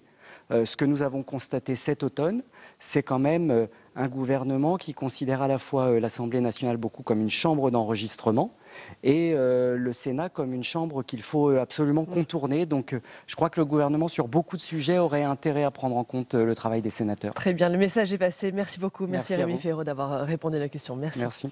Merci à vous, euh, Savérien. À l'heure de la grande explication pour la SNCF, après les pannes et les bugs, Guillaume Pépi, son PDG, était convoqué aujourd'hui par Elisabeth Borne. La ministre des Transports entend tirer le bilan de ces incidents. Elle attend d'ailleurs des actions engagées. Elle réclame dans un communiqué un audit technique. Aucune image n'a filtré de cette rencontre. Écoutez ce qu'en disait ce matin Hervé Morin sur le plateau de notre matinale Territoire d'Info. Un État qui, depuis, quelles que soient les majorités, hein, a totalement abandonné euh, sa responsabilité sur le ferroviaire. Sous-investissement massif et abandon de lignes entières. C'est tous les trains intercités. Et donc la conséquence, le, deal que j'ai passé à l'époque avec Manuel Valls, c'est dire la Normandie, c'est un scandale. Nous, c'est honteux, honteux. C'est le Moyen Âge. Ce sont des trains qui tous les jours sont en retard. Ce sont des trains où on nous dit il y a 10 voitures, il y en a que 7. Ce sont des trains dans lesquels il n'y a pas d'eau. Voilà ce que nous sert la SNCF tous les jours. Et pour comprendre les enjeux de cette rencontre, notre invité Thierry Marty, membre de l'UNSA ferroviaire et administrateur salarié à SNCF Mobilité, le face-à-face, c'est tout de suite.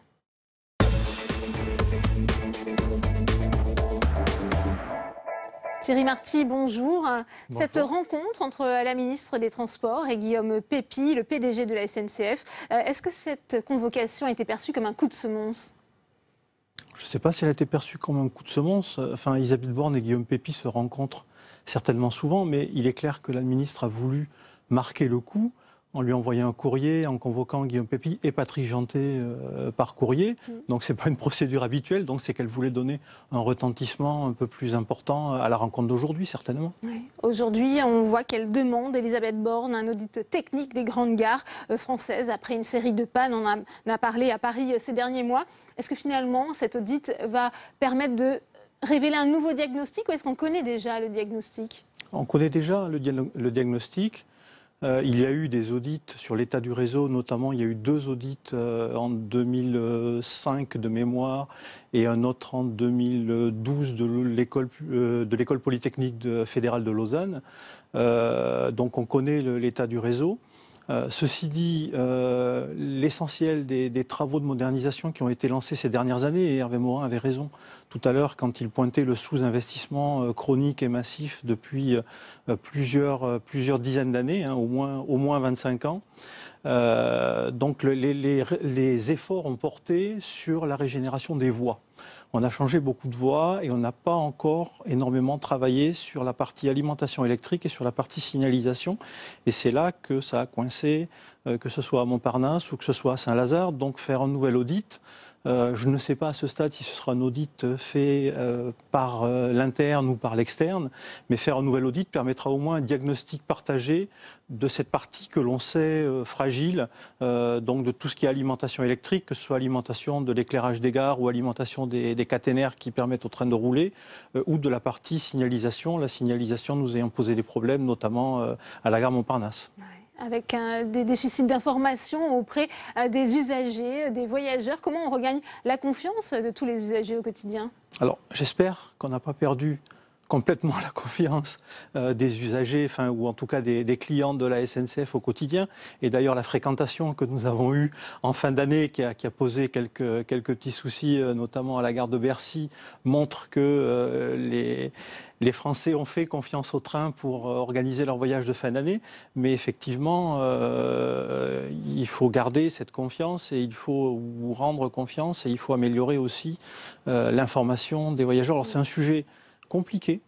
il y a déjà une enveloppe, 150 hein, millions d'euros, portée à 200 millions pour améliorer l'information aux voyageurs. Pourquoi la SNCF n'arrive pas à bien communiquer justement en amont quand il y a des problèmes Parce que c'est difficile. Ce qu'attend le voyageur, euh, bon, je, suis en voyageur quotidien sur la ligne D et donc je suis, je, suis au contact des clients tous les jours. Ce qu'attendent les gens quand il y a un souci, c'est euh, combien de retard aura mon train, quand est-ce qu'il repart. Et, c'est une information compliquée à donner. Euh, et souvent, au début d'incident, on ne peut que dire voilà, on a tel type de souci, un train en panne, un problème d'alimentation électrique, et on vous euh, dira, il va y avoir des trains retardés, il va y avoir des trains supprimés, on vous dira euh, quand, on saura mieux. Et parfois, les gens euh, prennent ces, messages, qui sont quelque part des messages d'attente en attendant que le, déjà de localiser la panne et de savoir que le, que le service s'organise, prennent ces messages pour un peu du mépris en disant, voilà, ils nous racontent toujours les mêmes, les mêmes bêtises, les mêmes, les mêmes soucis, et donc c'est compliqué. Euh, il y a eu des efforts de fait depuis, euh, une dizaine d'années et, quelque part, tous mes collègues cheminots vivent assez mal la situation et un petit peu ce qu'ils vivent comme du SNCF bashing ces dernières semaines, euh, parce qu'ils se mettent en quatre tous les jours pour faire en sorte que les voyageurs voyagent dans les meilleures conditions possibles. Et quand ça ne marche pas, en plus, de, se retrouver mis, à l'index, c'est vraiment compliqué. Mais il y a des progrès à faire. euh, je pense, deux progrès majeurs. Le premier, c'est d'unifier les canaux d'information. Aujourd'hui, on a les informations qui viennent du transporteur et qui arrivent souvent dans le canal, euh, alors soit sur, les, soit sur les réseaux sociaux, mais également euh, sur les annonces qui sont faites dans les gares. Et puis, il y a des informations du gestionnaire d'infrastructure qui arrivent euh, aux voyageurs par l'intermédiaire des conducteurs de train. Et parfois, ces informations ne sont pas complètement coordonnées, ce qui peut donner une impression de désordre. Et euh, donc, il faut unifier ces canaux d'information. Après, euh, il y a une préparation sur, sur une application qui permettrait à la fois à la SNCF de rentrer un certain nombre d'informations et aux clients de réagir ou de préciser les informations par rapport au contexte local qu'ils vivent, un peu comme Waze sur, sur la route. Et bon, on espère que ça permettra une information plus réactive et plus précise pour tout le monde. Aujourd'hui, est-ce que Guillaume Pépi est encore l'homme de la situation? Est-ce que c'est un problème de gouvernance à la SNCF Alors, un problème de gouvernance, quelque part, oui, parce que le fait de ne pas avoir investi pendant longtemps, euh, alors qu'on savait qu'en n'investissant pas, le réseau allait se dégrader, c'est un problème de gouvernance. Mais si problème de gouvernance il y a, il vient du côté de l'actionnaire, qui est l'État, qui euh, décide in fine de ce qu'on investit et ce qu'on n'investit pas, avec parfois d'ailleurs des injonctions contradictoires euh, en disant d'un côté il faut faire des économies, mais de l'autre côté il faut faire énormément de travaux. Euh, et euh, donc si, problème de gouvernance il y a, c'est celui-là. Et moi je ne pense pas, contrairement à ce qui a pu être dit à droite ou à gauche, que Guillaume Pépi était en danger en termes de, en termes de rester à la tête de la SNCF ou pas. D'autant plus que l'essentiel des problèmes que nous avons rencontrés sont des problèmes liés à la vétusteté et aux travaux sur le réseau ferroviaire, et que celui qui pilote et coordonne tout ça, c'est Patrick Janté et pas Guillaume Pépi. Mmh. Donc pas de problème de gouvernance, c'est ce que vous dites euh, Vous faites confiance à, Guillaume Pépi? Pas de problème de président sur ce sujet-là. Enfin, en tout cas, ce sujet-là, pour moi, ne méritait pas euh, que l'on remette en cause la place des présidents euh, de SNCF Mobilité et de SNCF Réseau. Problème de gouvernance, oui, sur l'État qui veut parfois tout et son contraire. Mmh. Euh, c'est un exercice d'équilibriste, hein, il faut, vous le disiez vous-même, à la fois accélérer la lutte contre le vieillissement euh, euh, du réseau tout en évitant de désorganiser le transport au quotidien. Comment avec on résout l'équation? Avec des travaux très compliqués à organiser. Hein, puisqu'il y, y, a énormément de travaux qui sont à être faits. On a, on a annoncé plusieurs milliards, presque 5 milliards de, de, de, travaux entre les travaux de modernisation et les travaux, euh, et, et, les travaux de, de maintenance. Euh, donc SNCF Réseau ne peut pas faire face tout seul. Donc il lance des appels d'offres euh, à des entreprises euh, de travaux publics. Ces entreprises, en général, il est rare qu'une entreprise réponde toute seule parce qu'il faut faire du génie civil, il faut faire de la signalisation, il faut faire de l'alimentation électrique. Donc ce sont des groupements d'entreprises qui répondent. Lorsque ces marchés sont attribués, ces entreprises prennent des sous-traitants. Les sous-traitants prennent parfois eux-mêmes des sous-traitants. Et donc il faut à la fois coordonner la circulation des trains qui continuent de rouler, euh, plus les travaux qui sont faits par la SNCF en propre, plus ceux qui sont faits par les sous-traitants et ceux qui sont faits par les sous-traitants des sous-traitants. Et tout ça, c'est très compliqué à faire et euh, je crains que euh, ces organisations, malgré tous les efforts qui sont faits pour qu'elles soient le plus fiables possible, donnent lieu encore à des épisodes désagréables pour, pour les voyageurs et pour les, pour les cheminots. C'est un constat pessimiste. Il, y aura, il faut s'attendre à d'autres pannes, d'autres bugs, c'est ce que vous nous dites? Ça risque d'arriver.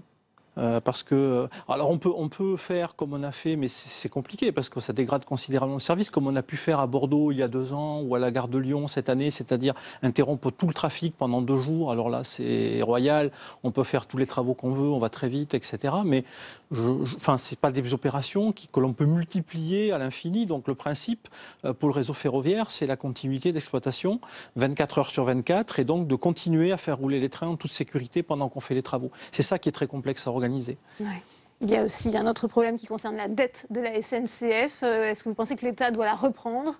Emmanuel Macron n'écarte pas cette idée en contrepartie d'une réforme du système de retraite euh, de, régime spécial des cheminots? il est clair que l'État doit reprendre la dette du ferroviaire. Aujourd'hui, c'est une dette qui a été contractée pour construire les lignes à grande vitesse. C'est de l'aménagement du territoire qui a été fait pour le compte de l'État et financé par RFF à l'époque, SNCF Réseau maintenant. Et donc cette dette, qui est une dette euh, qui n'est pas remboursable, enfin qui n'est pas amortissable en tant que telle, Mhm. puisque... Elle devrait passer à 65 milliards d'ici à 2025 Oui, selon un, les prévisions. ben, un certain nombre de ces lignes en fait ont été faites alors qu'elles ne sont pas rentables. Et aujourd'hui, vous avez euh, quasiment deux tiers des lignes TGV qui ne sont pas rentables. Et donc, quand les, vos lignes ne sont pas rentables, ben, vous ne pouvez pas rembourser la dette qui a servi à, à la faire. Et donc, Mhm. c'est logique qu'on ait fait ça. hein. C'est- une mission de service public, c'est de l'aménagement du Donc territoire l'État doit la reprendre? Mais l'État doit la reprendre et j'espère qu'il va la reprendre. Alors après, euh, doit-on euh, demander des contreparties aux cheminots sur cette reprise? Euh, Les cheminots ne sont pas responsables de cette dette. Ils la subissent. Euh, comme, euh, comme, euh, comme l'a subi tout le monde. Donc que la SNCF se réorganise, et, et- et Dieu sait qu'elle se réorganise énormément ces derniers temps. On a eu une réforme en 2014, il y a d'autres réformes qui sont annoncées. Le- vous parliez de rendez-vous tout à l'heure. Le grand rendez-vous, pour moi, c'est la mission qui a été confiée à M. Spinetta, justement, qui va traiter de ces problèmes d'ouverture à la concurrence. euh, défi, et, et de modèle économique SNCF, et de modèle économique voilà et de modèle économique de SNCF Réseau et c'est- là que c'est là que vont se décider les choses importantes pour l'avenir de la SNCF. Eh bien, merci beaucoup à Thierry Marty d'être venu en parler sur ce plateau. Je vous le disais en titre, le gouvernement annoncera sa décision avant la fin du mois concernant l'avenir de l'aéroport de Notre-Dame-des-Landes. Après la remise en décembre d'un ultime rapport, Édouard Philippe veut déminer le dossier auprès des élus locaux. Ils sont d'ailleurs reçus aujourd'hui à Matignon, Samia Dechir. Les élus défilent cette semaine à Matignon. Jusque vendredi, c'est l'ultime concertation sur l'aéroport Notre-Dame-des-Landes avant que le gouvernement tranche. La décision sera prise entre le 15 et le 30 janvier. L'exécutif décidera alors soit de la construction de l'aéroport, soit de l'abandon du projet au profit d'un réaménagement de l'aéroport existant de Nantes Atlantique. Édouard Philippe l'a annoncé mi-décembre après la remise du rapport des médiateurs qui n'ont pas tranché, estimant qu'aucune solution n'est parfaite. J'attire euh, l'attention sur le fait que cette décision sera claire, qu'elle sera assumée par euh, le gouvernement et qu'elle doit nous permettre, d'une part, de répondre aux besoins identifiés du développement du transport euh, aérien dans le Grand Ouest et d'autre part, de garantir un retour à la normale, notamment s'agissant des questions relatives à l'ordre public. Ce retour à l'ordre public devrait passer par une évacuation de la ZAD, la zone à défendre, occupée par plus de 200 opposants à l'aéroport. Édouard Philippe s'y est engagé, y compris si le projet est abandonné. 3000 militaires pourraient être mobilisés. Mais les zadistes, eux, n'ont pas l'intention de partir, quelle que soit la décision du gouvernement. Ils entendent continuer à vivre sur ces 1000 hectares de bocage et se disent prêts à se défendre. Sachez par ailleurs euh, que les Républicains appellent eh le gouvernement à évacuer euh, par la force les zadistes. On va retrouver euh, Saveria Rojek pour une réaction justement à ces consultations. Vous êtes avec la sénatrice euh, Union centriste d'Ille-et-Vilaine, Françoise Gattel.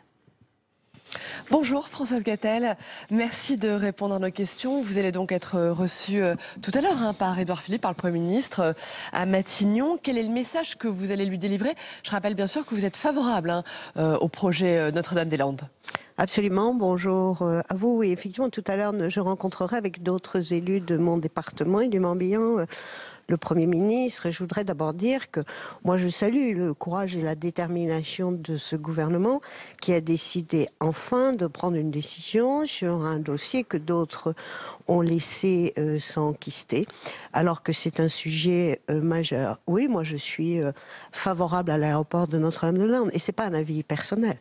Euh, je, je crois que mon avis reflète celui d'une très très large majorité d'élus, de chefs d'entreprise et de collectivités du Grand Ouest et tout particulièrement de Bretagne. Donc je suis en fait la porte-parole de voix des territoires et de voix de l'économie.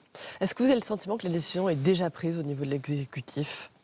Bon, je ne sais pas, euh, sincèrement, je, je viens euh, à cette réunion d'une manière euh, positive. Je pense que c'est intéressant que, que le Premier ministre souhaite euh, entendre c'est ce qu'il a dit. Euh, J'imagine quand même, puisque la décision va être prise dans les tout prochains jours, que le gouvernement a au moins une idée, peut-être très avancée euh, sans doute. En tout cas, il y a des rumeurs et des, des, les- des gens autorisés s'autorisent à dire que l'avis serait pris. Moi, en tout cas, euh, j'y vais aujourd'hui avec le, le souci de, de porter la parole de l'Ouest et de dire que ce sujet est un sujet essentiel pour l'avenir de l'Ouest. Et l'alternative d'un réaménagement hein, de l'aéroport euh, existant, comment est-ce que vous la jugez? Le rapport des médiateurs, hein, mi-décembre, il était plutôt favorable. Moi, je ne le lis pas tout à fait comme ça. Je dis d'abord que euh, un plan B, c'est-à-dire le réaménagement de Loire-Atlantique, a déjà été étudié, contrairement euh, à ce que l'on dit, puisque le département de Loire-Atlantique avait financé une étude. Je dis aussi que à la fois euh, l'Europe, euh, des, des schémas euh, de transport de 2002 ont validé l'option de Notre-Dame, ont validé l'option de Notre-Dame-des-Landes. Moi, je pense que ce, ce- comment dire, euh, aujourd'hui la question qui, qui se pose, c'est euh, pour quel avenir et quelle vision de l'aménagement du territoire euh, on veut. Et que j'ai lu, je crois, assez attentivement le rapport, et j'ai bien vu que euh, les, les, les- les- le- ce, ce rapport met en avant le fait que peut-être et sans doute que l'aéroport actuel de, de Nantes Atlantique pourrait convenir jusqu'en 2040 mais qu'il dit aussi que si on réaménage Loire-Atlantique, il faut garder les réserves foncières de Notre-Dame-des-Landes. Donc ça veut dire qu'on est sur une solution à court terme et que c'est reculer pour mieux sauter et qu'il faudra se reposer la question à terme. Donc ça n'est pas pour moi un projet d'avenir. Euh, très rapidement, Françoise Gattel, néanmoins, si l'exécutif décidait euh, eh bien, euh, d'abandonner le projet, quelle serait votre réaction? Est-ce qu'on peut annuler un projet qui a été approuvé par référendum? Ben ça, c'est la deuxième, euh, la deuxième question. Moi, je lis pas les deux. Je veux dire, il y a une vraie question euh, très grave, c'est-à-dire une question démocratique. D'abord, il y a eu des décisions légitimement prises par des élus locaux, par des collectivités. Il y a eu des consultations. Il y a eu un référendum. Et aujourd'hui, ce point-là doit être regardé de manière euh, forte parce que je rappelle qu'il y a en France 50 autres projets qui aujourd'hui peuvent faire l'objet d'une d'une opposition euh, d'une opposition farouche, rebelle, guerrière de la part de, de collectifs et que ça ne réglera rien. Très bien. Merci beaucoup. Merci, Françoise Gattel d'avoir euh, répondu à nos questions. Merci. Merci. Merci à vous, euh, Saveria, pour euh, toutes ces réactions. La décision devrait être officialisée demain matin, mais dans les faits, elle est déjà prise. Édouard Philippe s'apprête à réduire la vitesse à 80 km/h sur certaines routes secondaires. Cette mesure interviendrait alors que la France connaît une augmentation ininterrompue de la mortalité routière depuis 2014. Pourtant, de nombreux parlementaires s'y opposent. Cécile Assixou. Apprêtez-vous à lever le pied. Fini les 90 km/h, le gouvernement envisage de baisser la vitesse maximale à 80 km/h sur 400 000 km de routes secondaires. Une mesure impopulaire mais assumée par Édouard Philippe. Elle permettrait, selon une expérimentation, de faire baisser la mortalité sur les routes. Peut-être, répond Gérard Larcher, qui demandait hier soir à voir les conclusions de cette étude. Si réellement la limitation de la vitesse, elle est un facteur de moindre mortalité, oui, il faut le faire. alors il faut s'y engager. Mais en même temps, il faut se poser la question. Parce que ceci va s'appliquer dans des territoires qui sont en déficit d'équipement. Des territoires souvent ruraux. Des territoires qui ont le sentiment d'être abandonnés. Et au lieu de conduire des investissements dans ces territoires, on leur dit, ben, votre mobilité sera Réponse ce matin d'Édouard Philippe. Dans une lettre, il explique que l'expérience menée de 2015 à 2017 sur 86 km a permis de diminuer la mortalité de 27 à 20 décès sur ce tronçon test. Au total, elle pourrait sauver entre 200 et 400 vies par an, selon le gouvernement. Demain, Édouard Philippe devrait annoncer également d'autres mesures des sécurités routières, notamment contre l'utilisation du téléphone portable ou encore contre l'alcool au volant.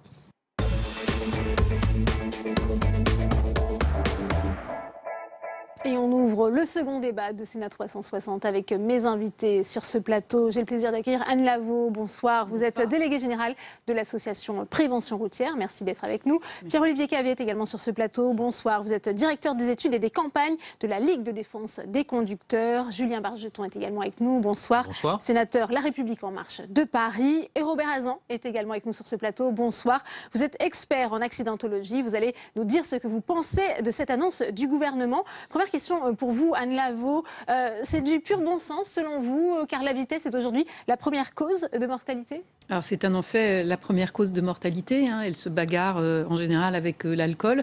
Donc on attend demain, il y aura sûrement des mesures annoncées concernant, concernant l'alcool. c'est essentiel d'agir sur, sur la vitesse. dans le passé, il y a déjà eu des, actions. Hein. Je rappelle que quand moi j'ai passé mon permis de conduire, on roulait à 60 km/h dans les villes. Aujourd'hui, on roule à 50, voire même à 30. Et, euh, et il a fallu une génération pour que cette question euh, du 50 euh, km/h en ville ne soit plus un sujet. la vitesse, c'est une affaire collective. si collectivement on baisse la vitesse, eh bien, on arrivera à faire baisser effectivement le nombre de tués, puisque c'est mécanique. Les, les, les, accidents sont plus graves, mais je pense que monsieur le dira, les accidents sont plus graves avec le facteur vitesse. Mmh. Pierre-Olivier Cavé, comment réagissez-vous à cette annonce du gouvernement? Malgré le respect que je porte à Madame Lavaux et à son association, nous ne sommes pas du tout en accord euh, avec euh, ce que, vient, ce que vous venez de dire. Euh, en effet, cette limitation de vitesse à 80 km/h sur, sur le réseau secondaire procède d'un modèle appelé de Nielsen et Helvig. Donc c'est un modèle qui a été... Ce sont des études que vous contestez aujourd'hui qui font le lien entre vitesse et mortalité. Et, oui, et mortalité. Donc, euh, cette étude a été réalisée par la Société de calcul mathématique, hein, par d'éminents mathématiciens, polytechniciens par ailleurs, euh, pour certains, pour euh, le premier d'entre eux. donc, ce sont des, scientifiques que je ne suis pas. Je ne suis pas expert en, la matière, mais je, par contre, ces personnes-là le sont. Voilà, voilà c'est le premier point. ensuite, cette. Donc pour vous, quand on roule vite, ça n'entraîne pas forcément mécaniquement des accidents de voiture, c'est ce que vous dites? C'est beaucoup plus précis que ça, c'est pas simple du tout. Donc je, peux, je sais que j'ai un, accidentologue à côté de moi, donc euh, je me garderai bien de, de, dire des bêtises. Mais euh, cette étude par euh, faite par la société de, société de calcul mathématique, elle dit quoi? Elle dit que le modèle de Nielsen et Helvig ne prend pas en compte, parce que ce, modèle dit quand vous baissez la mortalité de la vitesse pardon, de 10 km/h, vous, vous, obtenez une mortalité moindre de 400 vies. Donc vous, vous, gagnez des vies, 400 vies. Euh, et donc la société, de calcul mathématique indique dans cette étude que c'est totalement aberrant puisque euh, euh, ça ne prend pas en compte les infrastructures, ça ne prend pas en compte la sécurité active et passive, c'est-à-dire la ceinture de sécurité, on ne la prend pas en compte, l'ABS, l'ESP, on ne le prend pas en compte, l'entretien des infrastructures, c'est pas pris en compte non plus. C'est pour ça qu'il ça manque beaucoup de, ça, manque de précision et c'est un modèle, c'est pas une théorie. Partant, c'est très facile d'indiquer ça euh, euh, à tout bout de champ, sauf qu'il n'y a pas de fondement scientifique valable. Alors, que, répondez-vous, euh, Robert Azan, expert en accidentologie, notamment sur les distances de freinage, puisque c'est un des arguments développés par le gouvernement. eh bien, quand on est lancé à 90 km/h, on freine moins rapidement que lorsque l'on est lancé à 80 km/h. À 80, en freinant à 80, on va, on va bien sûr réduire la distance de freinage, c'est sûr. Mais il faut savoir une chose, c'est qu'un accident, c'est jamais une, une cause. Il n'y a pas une cause dans un accident, c'est une suite d'événements. Vous allez avoir le facteur humain, bien sûr, 90%, mais vous allez avoir l'infrastructure, vous allez avoir euh, les, intempéries, il y, a, il y, a, plusieurs choses, il y a plusieurs facteurs qui vont produire l'accident. Vous allez avoir des gens qui vont rouler tous les jours très vite, ils ne vont pas avoir tous les jours un accident. Ce jour-là, il pleut, ce jour-là, il roule vite, ce jour-là, il y a peut-être un peu d'alcool, il y a ceci, il y a cela. Voilà, c'est tout ça qu'il faut prendre en compte. En ce qui concerne cette vitesse de 80, je ne dis pas que c'est une mauvaise chose. La vitesse, c'est toujours un facteur aggravant dans un mécanisme accidentel. C'est vrai.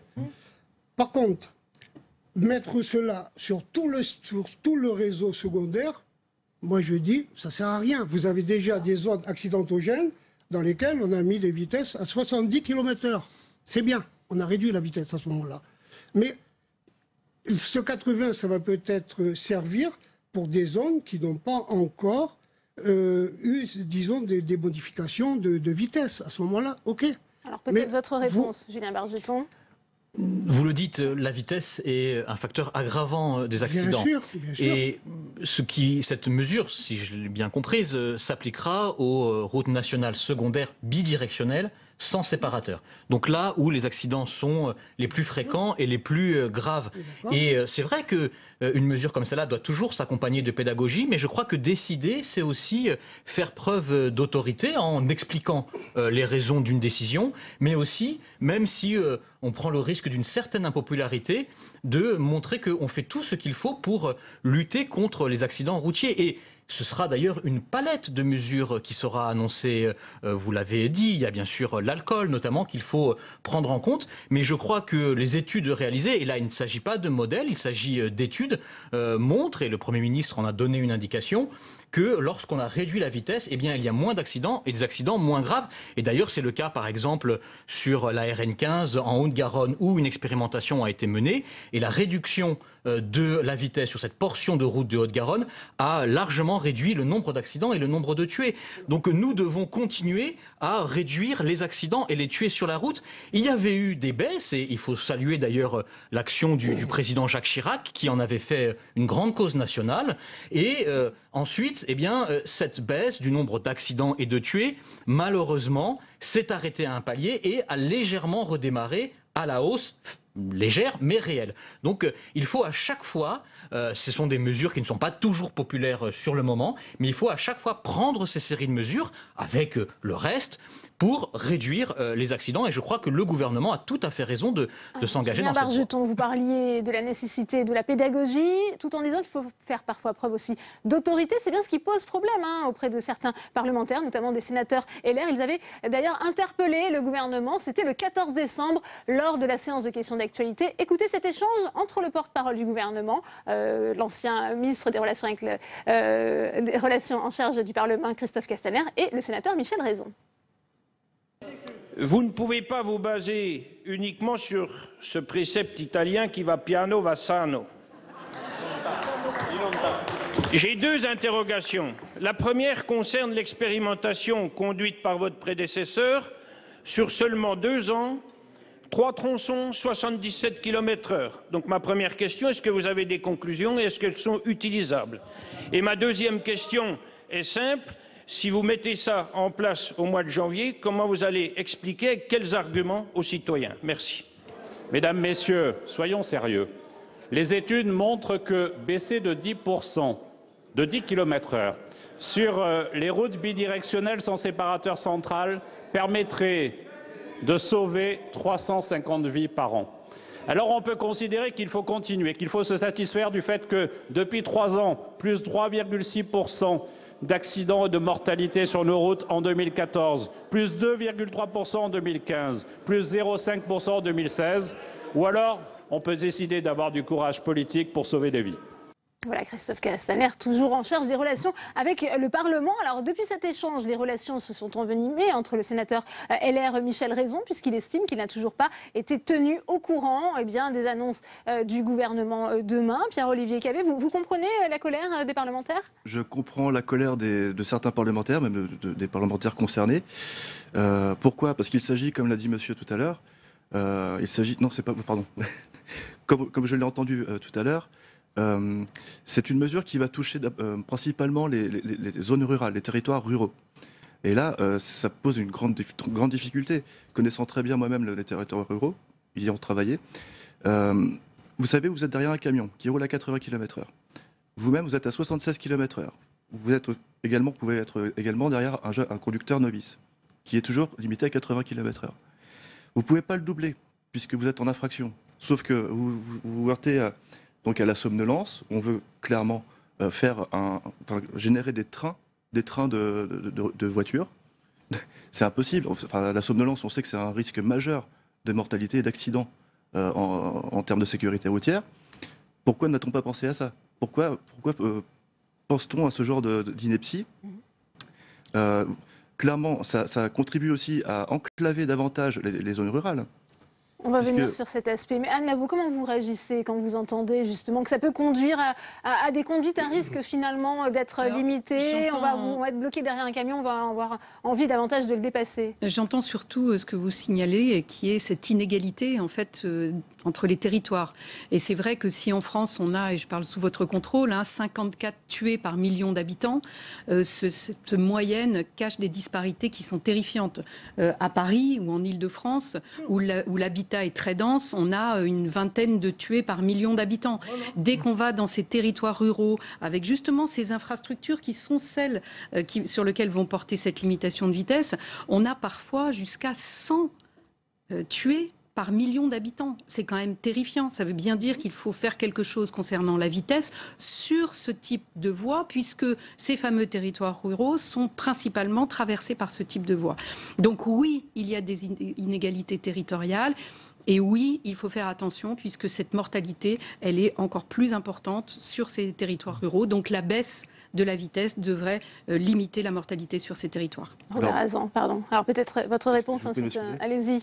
Malheureusement, je, je ne suis pas convaincu du tout, euh, parce que vous savez que euh, en France, le, euh, le- le réseau, l'infrastructure, les infrastructures routières sont de, gérées de, de- de- de- de pire en pire, de, façon euh, extrêmement, euh, euh, enfin, point par point, ponctuellement, on voit des nids de poules se, se creuser chaque jour dans, tous les, sur tous les territoires. Euh, et vous savez que le, facteur infrastructure est présent dans 40% des, euh, des accidents mortels sur la route. Euh, ce que nous disons, c'est que si nous ne fait pas quel- quelque chose sur les infrastructures, eh bien, on, court à la catastrophe. Au lieu de baisser la vitesse de manière dogmatique, puisque c'est de cela dont il s'agit, en reparlant de, de Nilsson hein, pas, pas vous, hein, mais sans cesse baisser la vitesse juste pour dire qu'on a fait quelque chose, pour nous, c'est inacceptable. C'est de l'hygiénisme, c'est c'est quasiment copier-coller euh, des mécanismes de santé, pu- santé publique pardon, à euh, la sécurité routière, ce qui n'a aucun lien, enfin, il n'y a aucun rapport. La santé publique et la sécurité routière, à ma connaissance, euh, ce sont deux euh, enjeux différents. Robert Hazan, sur cette question euh, Oui, voilà. de l'accidentologie, notamment en zone Je rurale. disais, euh, un accident, c'est plusieurs éléments. Bon, 40%, 40 d'infrastructures, je ne crois pas beaucoup. Ah bah, parce que je fais euh, personnellement, euh, j'étudie à peu près 100, 110 accidents mortels par an. Ça fait une trentaine d'années. Vous voyez, donc j'ai ma propre euh, petite expérience. En revanche, je sais une chose. De 90, on va la baisser à 80. Lorsqu'il y a des accidents graves, des accidents mortels, vous avez une différence entre la limitation et la limitation et le moment, de, le moment du choc, de la collision. Vous avez 25, 30, 35 km de plus. Donc vous allez réduire de 90 à 80, vous allez avoir quand même un choc à 80, vous allez l'avoir à 110, 115, il sera aussi mortel, il y aura des blessures aussi graves, etc. Il n'y a pas de secret. En revanche, moi, où je vois, où je vois quand même des, euh, disons, des, des progrès, vous avez des zones accidentogènes, on aura réduit, on aura aménagé euh, à ce moment-là le secteur, la zone, vous allez avoir un rond-point, vous allez avoir quelque chose comme ça. Oui, ça, va- ça va le faire. Maintenant, 80-90, je vois pas beaucoup. Voilà. Je dis pas Julien que c'est mauvais, je dis pas Non, que c'est bien. Certains dénoncent aussi une mais- mesure mais coûteuse finalement pas- qui vise à renflouer les le- caisses de l'État. On va verbaliser davantage. Je verrai pas le résultat. hein. Je Parce ne que crois pas l'acci- que ce l'accident, lorsqu'on étudie un accident, il faut le décortiquer complètement. Il ne faut pas dire il a roulé à 100 km/h, euh, ceci, cela. Voilà ce qui a causé Julien. Non. Je, je ne crois pas que ce soit une mesure euh, dogmatique. C'est une mesure euh, qui euh, cherche l'efficacité et c'est extrêmement important de sauver euh, des vies. Je veux dire, euh, 3500 tués, 72 000 blessés. Comment peut-on admettre une chose pareille en France? Et malheureusement, la France se distingue aussi de ce point de vue-là et ça n'est pas une bonne façon de se distinguer. Donc, euh, je crois qu'il euh, faut une palette de mesures et celle-là en fait partie. Je suis convaincu, et les études le montrent, qu'elle contribuera pourquoi à euh, justement le réduire la mortalité. Ensuite, bien sûr, ce n'est pas la seule. C'est ce que demandent les sénateurs. Mais euh, le ici, Premier ministre a indiqué, vous l'avez mis d'ailleurs dans votre reportage au début euh, de cette émission, vous avez indiqué que le Premier ministre venait de communiquer euh, les premiers chiffres qui montraient que sur les tronçons étudiés, il y avait une réduction du nombre de tués. Et moi, je connais le cas notamment euh, en Haute-Garonne de la route d'Espagne où cela a été aussi clairement euh, démontré. Donc je crois que c'est une mesure et on le verra. Vous savez, ces mesures ont toujours été contestées. Je me souviens du permis à points, je me souviens d'autres baisses de vitesse. Et à chaque fois, elles ont permis, palier par palier, de euh, réduire les accidents et la mortalité. Il faut continuer, même s'il faut bien sûr l'expliquer, parce que je sais bien que ça n'est pas ce qu'il y a de plus populaire, mais on ne cherche pas toujours la popularité directe, on cherche aussi et surtout, à sauver des vies. Et je ne crois pas que ce soit euh, une mesure qui soit euh, ni coûteuse ni euh, défavorable aux territoires ruraux. Il faut des mesures pour les territoires ruraux, et le gouvernement notamment s'est engagé sur un plan d'investissement. C'est comme ça qu'il faut agir. Mais euh, Madame Lavaux a raison, c'est justement là où il y a le plus d'accidents et le plus d'accidents graves qu'il faut compenser par ce genre de mesures. Que dirait-on si on disait qu'on peut continuer justement dans certains territoires à accepter que des personnes soient plus souvent blessées ou tuées dans des accidents de la route Je crois justement que là aussi, c'est être euh, finalement pragmatique et efficace. Et nous avons tous dans notre entourage, proche ou moins proche, des gens qui ont été victimes d'accidents de la route. C'est une, c'est des vies qui sont brisées. Euh, voilà, je pense que les Français sont en capacité d'entendre aussi ce genre euh, de mesures et vous savez, c'est pas pour remplir les caisses des, des- radars, parce qu'il suffit juste de respecter euh, les, textes. Si on respecte l'interdiction euh, de vitesse, enfin les interdictions, si on respecte les limitations de vitesse, alors il n'y aura pas, par définition, euh, d'argent supplémentaire pour l'État. Ce que on vise, c'est euh, finalement euh, euh, l'application volontaire euh, de la loi. Anne Lavaux, on estime que 200 à 400 vies pourraient être sauvées, épargnées avec cette mesure. Vous confirmez? Alors c'est ce fameux, c'est ce fameux modèle euh, qui a été évoqué euh, précédemment. Donc c'est un modèle qui effectivement, euh, euh, c'est un modèle. Donc euh, soit on croit au modèle, soit on n'y croit pas. Ce qui est certain, euh, c'est que euh, l'impact quand même de la, la vitesse sur un accident, même si l'accident est multifactoriel, Oui, la oui, vitesse oui. est un élément Ah, aggravant. oui, Ça c'est oui. indéniable et on peut être tous d'accord là-dessus. Après, euh, nous, ce que notre association, euh, ce qu'elle a juste regretté, parce que vous savez, nous, on travaille surtout sur les comportements, et, euh, et donc euh, les comportements, il faut réussir à convaincre les gens. Or, c'est vrai que euh, cette expérimentation, nous, depuis le début, on dit qu'elle est trop courte. On sait qu'en matière de sécurité et de prévention Il faut routière... toujours passer par de la sanction, de la répression, plus que par de la Je prévention. juste pour Oui. vous répondre sur l'expérimentation. Il faut, sur, sur notre sujet, qui est un sujet qui n'a pas la fréquence d'au- d'autres thèmes, il faut au moins avoir des expérimentations sur 5 ans et bien sûr sur des, sur des tronçons beaucoup plus importants euh, que 80 et quelques kilomètres. Donc là, euh, pour nous, le, le- le sujet, il est là. Il est une mesure comme celle-là, elle va être appliquée parce qu'on a euh, 90% des Français qui sont, qui sont légalistes, donc ils vont suivre la loi. Donc ça, ce sera bien, ça va collectivement faire baisser la vitesse. Mais il aurait fallu pour que ce soit ac- accompagné de l'acceptabilité qui est toujours nécessaire dans ce genre de, euh, de, de sujet, euh, qu'on ait euh, des preuves beaucoup plus tangibles que cette expérimentation dont on reçoit en plus les résultats euh, à la veille de, du CISR. Les campagnes, Alors, les campagnes surtout- sont efficaces, Ouais. elles ont leur efficacité et il faudra continuer à faire des campagnes de communication pour évidemment prévention. changer les comportements. Ça, je veux dire, les, choses ne s'excluent pas. C'est une palette de mesures et évidemment, continuons les campagnes de, de prévention. Oui, parce que moi je crois que depuis le temps qu'on parle de vitesse, on aurait dû parler aussi de la signalisation. Vous roulez, comme moi, en voiture, ça vous arrive certainement, enfin moi ça m'arrive, de dire, tiens, mais à, tel endroit, je- quelle est la vitesse limite Ça vous arrive, je pense, non Alors là, la, euh, la limitation. Tout est prêt, hein, panneaux, puisque les 20 000 panneaux, devraient être changés et 20 000 supplémentaires Non, mais il y a installés. ici, euh, ici ou là peut-être des améliorations à faire dans les équipements. C'est une évidence, ça par avant, ailleurs. Moi, je pense, on dit, on va baisser la vitesse, mais avant de baisser la vitesse, on, met, on, on re- on revoit la signalisation. D'avoir les panneaux. C'est prévu, hein, 20 000 panneaux supplémentaires seront après, installés. Ça concerne 400 000 km de route. Il faudra 6 mois hein, pour mettre en œuvre cette mesure. Voilà, oui, ça, ça, il fallait le faire avant. hein. Et quand il n'y a pas de panneau, c'est 80. Voilà. Vous avez la réponse. Pierre-Olivier. D'accord. Ça, il faudra dire. à Je je voulais, le. Ça, je faut rebondir, sur la parole euh, de, de monsieur le parlementaire. Euh, Il y, a- il y a quand même un gros souci quand même hein, dans le démarrage. Après, le- un gros problème de méthode. Si vous voulez, ce, dont on s'est aperçu à la Ligue de défense des conducteurs, c'est que euh, l'expérimentation n'a pas fait l'objet de résultats, n'a pas fait l'objet de conclusions, alors que c'était euh, demandé euh, par monsieur Cazeneuve lorsqu'il était ministre de l'Intérieur il y a quelques temps de cela. Il avait demandé à, beaucoup de transparence dans cette expérimentation. Au mois de juillet 2017, euh, c'est-à-dire deux ans après euh, euh, l'instauration de cette expérimentation, on attendait toujours les résultats. Euh, Aujourd'hui, on attend toujours les résultats, hormis Monsieur Raison, bon, bah, il y a de la chance d'avoir les résultats. Non, il mais, a- mais nous, il- il les a pas, hein, visiblement. mais- hein, mais nous- Michel nous- Raison. nous, en tout hein, cas, euh, on- si. on n'a pas- Et on les Ouais. aura. Mais on, on- il a On les a écrit, eus ce euh, matin. hein. Oui, Ouais. mais c'est très bien. Sauf Sauf a- le parlementaire on a- Michel Mais Raison vous savez, qui je se suis plaint de pas les avoir. et vous verrez de façon pratique et pragmatique que cela réduira l'accidentologie et la gravité Bah, on verra, on verra. Enfin, c'est même pas, c'est pas, encore signé. Parce qu'a priori, normalement, si je ne m'abuse, la démocratie fait que, en tout cas en France, il existe la- le, co- le comité interministériel de la sécurité routière. Vous savez comme moi que normalement cet organe consultatif doit rendre une décision qui sera ou pas prise par le gouvernement.